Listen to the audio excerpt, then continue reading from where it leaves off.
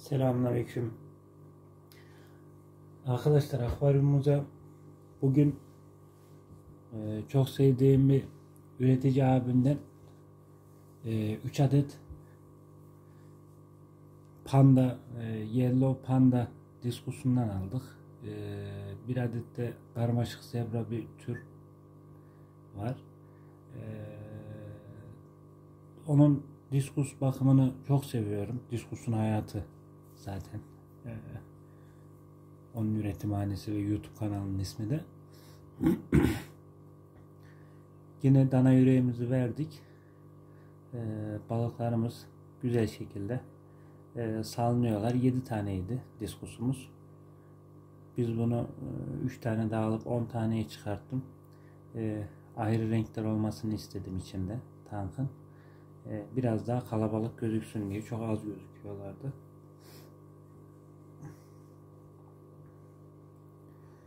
Yine yemini yiyorlar. Vatoz yine dana yüreğinden birisini tutmuş. Bugün sizlere Diskus tankında su değişimi ve e, su berraklığı, dip çekimi, su sıcaklığı, diskus tankının suyla olan bağlantısını anlatacağız. Şimdi e, öncelikle diskus tankının suyun berrak olmasının birinci sebeplerinden dolayı bir önceki videoda da bahsettiğimden ötürü e, dış filtre. Dış filtrede ne kadar elyafı çok koyarsak o kadar e, diskus tankımız daki su berraklaşıyor. İkinci bir husus ise lav kırığı. Lav kırığı doğasından gelen e, ekolojik e, yaratılışına göre küçük küçük gözenekleri var lav kırığının. Lav kırığı da e, sudaki zararlı bakterileri alıp bakterilere yer açarak suyun berraklaşmasını sağlıyor.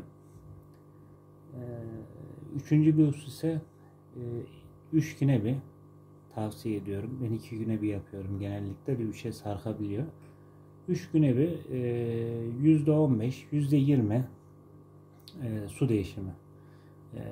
Şimdi suyu taze suyu özellikle diskus çok seviyor. Yani en sevdiği e, olaylardan birisi taze su, ikincisi dana yüreği etçil oldukları için. Suyumuzda da e, değişimini yaparken ilk önce dipteki e, dana yüreğinden kalıntıları çekiyorum. Sonrasında gözüken bakteriler, yani bakteri demeyeyim de pislikleri, dışkıları çekmeye çalışıyorum. Ee, gözüm sürekli şeye takılıyordu. Bizim Zebra Diskus e, Blue Diamond Diskus'a sürekli vuruyor da ona takılıyorum. Bak ya nasıl tartışıyorlar, kavga ediyorlar. Hop şeyi de yeni diskusu da kovaladılar orada. Hakimiyet kurmaya çalışıyorlar tabi yeniler ama alışacaklar birbirlerine. Ee, bugün su değişimi yapacağım ben de. Ee, şöyle su değişimi yapacağım. %10 su değişimi yapıp dip çekimi yapacağım. O yüzden birazcık dana yüreğini fazla attım içine. Yiyebildikleri kadar yesinler. Yemediklerini zaten çekeceğim. Dip çekimiyle diye.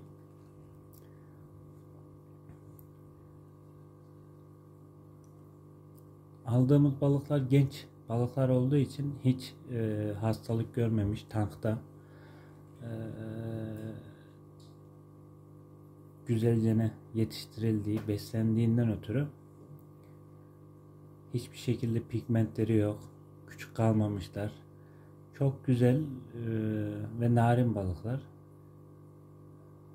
Güzel canlılık kattılar tanka.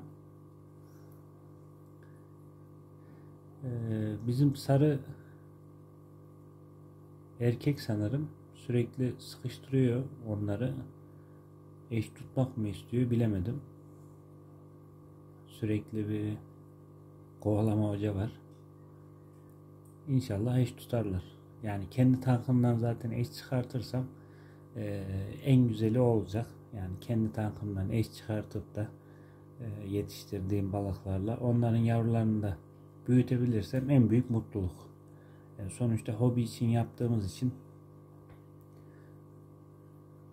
hobiyi devam ettirmiş olacağız. Çok güzel bir mutluluk olacak bu. İzlerken konuşamıyorum aslında. Şöyle konuşamıyorum. o kadar güzel geliyor ki yaptıkları birbirleri, birbirleriyle üstünlük kurma, kurması için hiyerarşi yapmaları izlemek daha zevkli geliyor aslında. Anlamaya çalışıyor, çalışıyorum içerideki durumu. Eğer ki eş tutarlarsa da e, sağ alt göze e, küçük bir akvaryum koyup sadece e, eşler için orada tutacağım. Kapağını kapalı tutacağım. Işık e, tek başlarına orada üre, üresinler. Sadece yemden yeme beni görecekler. Şeyleri rahatsız ediyorlar bizim yenilere. Bayağı sıkıştırıyorlar. Birbirlerine bayağı alışmalar lazım. Yoksa girişle birbirlerine zarar verebilirler. İşin garibi e, sadece bir tanesini rahatsız ediyor. Yani başka birisini rahatsız etmiyorlar. Dana yüreğinde bitirmek üzereler. Az kaldı dana yürekleri.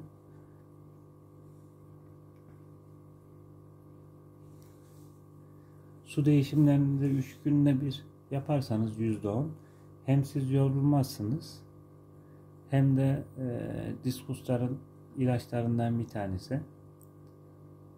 Hiçbir şekilde bir sıkıntıları kalmayacak. E, yarın da e, diskus iç parazit, e, dış pigment, e, sonrasında e, beyaz şeffaf, şeffaflaşmış dışkıyı anlatacağım size. E, bunda diskuslarımızı iyileştirme yöntemlerini anlatacağım. E, nasıl iyileştirebiliriz? Hangi ilaçları kullanabiliriz? Hangi yolu izlemeliyiz diye.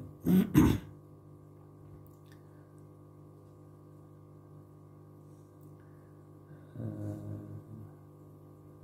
dış filtreyi sonrasında da anlatmayı düşünüyorum.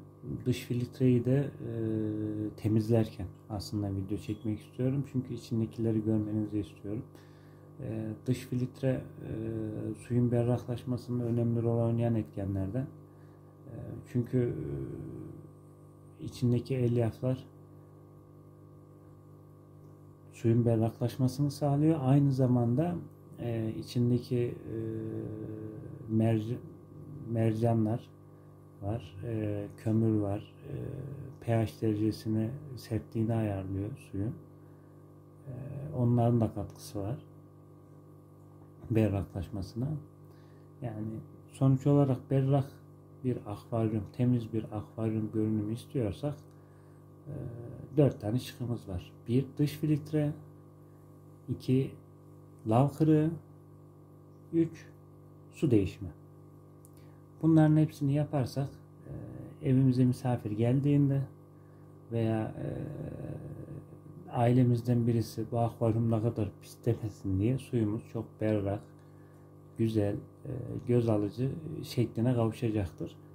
Akvaryum kurulduğunda su bulanık olabilir. Buna takılmayın. Dış filtre zaten onu halleder akvaryum kurulumunda.